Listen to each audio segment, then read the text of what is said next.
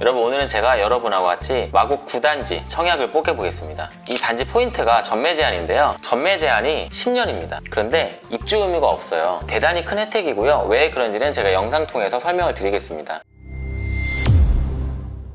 여러분 안녕하세요. 살집 채널 박민입니다. 제가 지금부터 설명할 곳이 마곡 엠벨리 9단지인데요. 지금 9단지 분양가는 59가 5억 후반, 84는 6억 중반입니다. 바로 옆에 8단지가 있어요. 8단지는 실거래가 기준으로 59가 9억 5천, 84가 10억 7천 5백만 원이 실거래가로 찍혔어요. 딱 봐도 4억이 싸죠?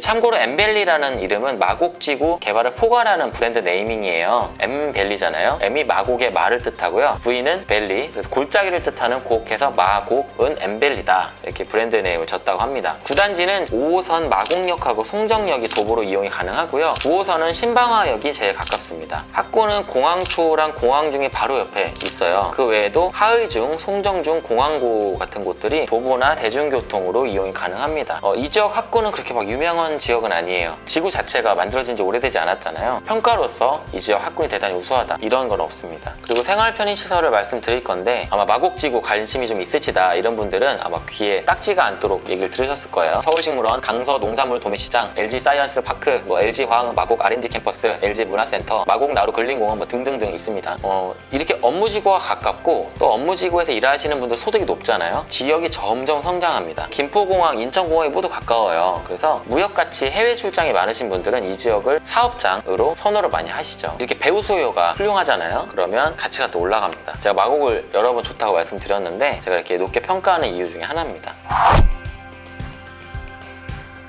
저희가 10년 전에 핸드폰으로 인터넷 안 했잖아요. 근데 요즘 다 인터넷 하잖아요. 10년 뒤면 부동산 시장이 어떻게 될지 아무도 모릅니다. 사람들이 이번 마곡 9단지가 로또 단지다. 뭐 되기만 해라. 이렇게 말씀을 많이 하시는데요. 10년 동안 실거주 하시면서 뭐 차익을 좀 노리겠다. 그거는 오케이. 실거주 안 하고 어떻게든 막 받아가지고 뭐 10년 동안 버티면서 뭔가를 해보겠다. 이런 분들은 몸과 마음만 피곤하고 얻으시는 이익이 없을 수도 있다. 이렇게 말씀드리고 싶어요.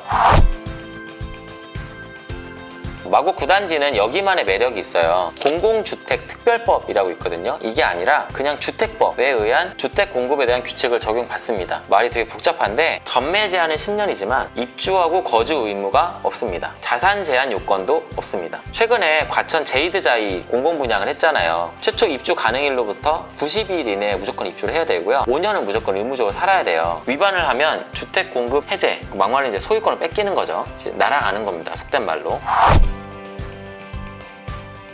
여기가 왜 주목받냐면 여기가 서울에 있는 마지막 노른자 땅입니다. 이 마곡지구라는 곳은 마곡동하고 가양동 사이에 있어요. 대표 산업지구, 뭐 사이언스 파크라든지 그런 곳들이 다 있어요. 이 지역에서 5년 만에 분양을 하는 아파트입니다. 또 마곡지구 내에서 어쩌면 마지막 분양 물량이 될 수도 있습니다. 1-2 구역이라고 또 있는데 여기는 아직 분양 예정이 없어요.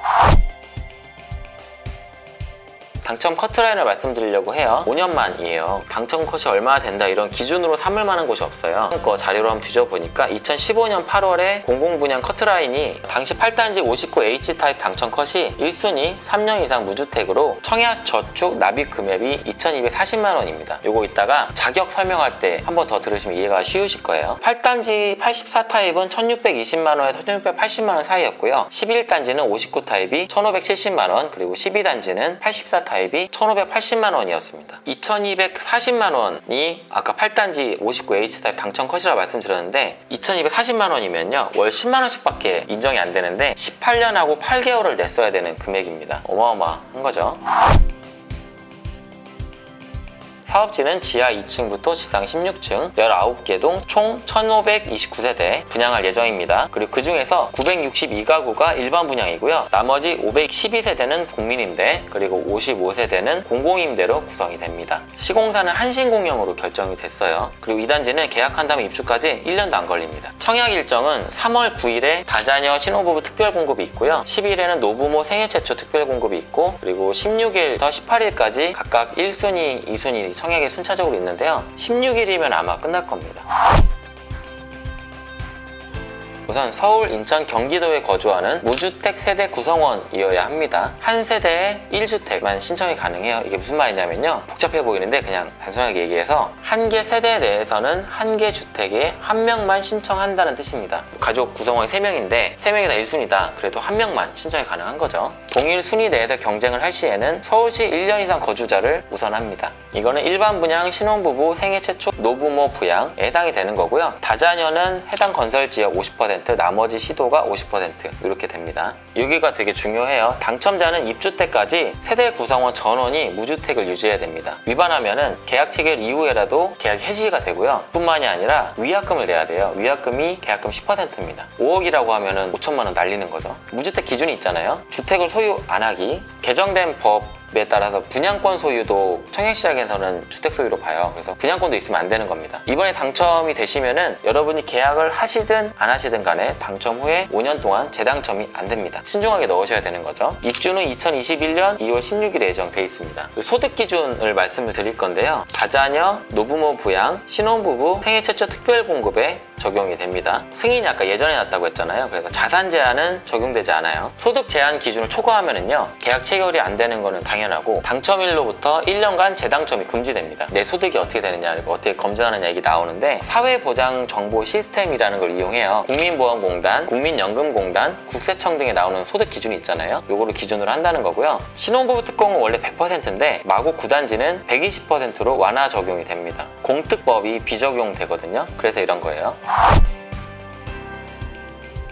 이제 가구원 수 산정인데요. 가구원을 몇 명으로 보느냐 요거죠. 신혼부부하고 다자녀 특별공급은 임신 중인 태아도 포함을 합니다. 그 외에 생애 최초라든지 노부모 부양 요에는 태아는 인정 안 해요. 제가 일반 분양 먼저 알려드리고요. 그 다음에 특별공급 말씀드릴게요. 마곡은 투기 과열 지구자, 청약 과열 지구입니다. 해당 지역 1년 이상 거주자를 우선으로 공급해요. 말이 너무 어려운데 서울시에 1년 이상 거주하면 되는 겁니다. 자격을 말씀을 드릴게요. 무주택 세대주여야 되고요. 청약 통장 1순위여야 됩니다. 청약 통장 1순위 24회 납입 아시죠? 그리고 5년 이내에는 당첨 사실이 없어야 돼요. 1순위 내에서 경쟁을 하겠죠. 3년 이상 무주택 세대 구성원으로서 and 청약 통장 납입 금액이 총액이 많으면 됩니다. 동점이 있을 수도 있잖아요. 동점은 추첨입니다. 다자녀, 세자녀 이상이죠. 해당 주택 건설 지역이 50%고요. 나머지 시도가 50%예요. 이것도 말이 어렵죠. 서울이 50%고 수도권이 50%라는 뜻입니다. 이제 마곡처럼 서울 거주자 100% 우선 공급 사업장에서는 유일하게 지역 우선 규칙을 깨고 물량을 배정받을 수 있는 유형입니다. 만 19세 이상의 자녀 3명 이상이고요. 무주택 세대여야 되고 청약통장 혹은 청약 주택청약 종합저축 6개월 경과 6회 이상 납입하셔야 됩니다. 당첨자 선정은요 미성년자 자녀수 자녀수가 많으면 많을수록 좋은 거고 영유아 자녀수 세대 구성 무주택 기간 해당 시도 거주 기간 청약 통장 가입 기간 등을 다 산정해서 100점 만점으로 뽑습니다. 동점이 되잖아요. 미성년자 자녀수가 많으신 분 그리고 공급 신청자 연령이 많은 순서로 당첨이 됩니다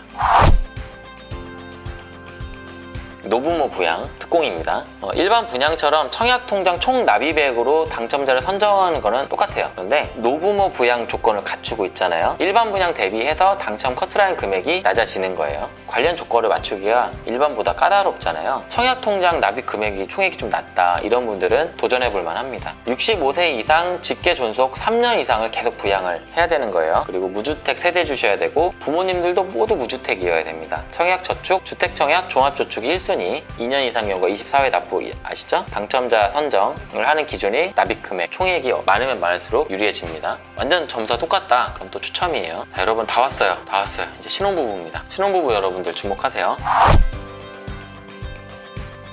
일반 분양 962가구인데 288가구가 신혼부부의 몫입니다. 굉장히 많은 거죠. 같은 공공 분양이더라도 공급 시기별로 신혼부부는 특공 자격이 달라져요. 구단지는 뭐 2010년 주택법에 근거해서 받았다고 말씀을 드렸잖아요. 혼인 7년 이내에 무주택 세대 구성원이어야 됩니다. 그리고 시, 혼인 신고일로부터 모집 공고일까지 계속 무주택이어야 돼요. 청약주택 혹은 청약 주택 청약 종합저축 6개월 이상 경과하셔야 되고 6회 이상 납입하시면 됩니다. 신혼특공 물량 75%를 우선 공급합니다. 그리고 혼인 중에 자녀를 출산하셔서 미성년 자녀가 있는 경우도 유리해지시는 거예요. 임신, 아까 태아도 포함된다고 말씀드렸고 입양도 포함이 됩니다. 그래도 완전 똑같다. 그럼 추첨을 하게 됩니다.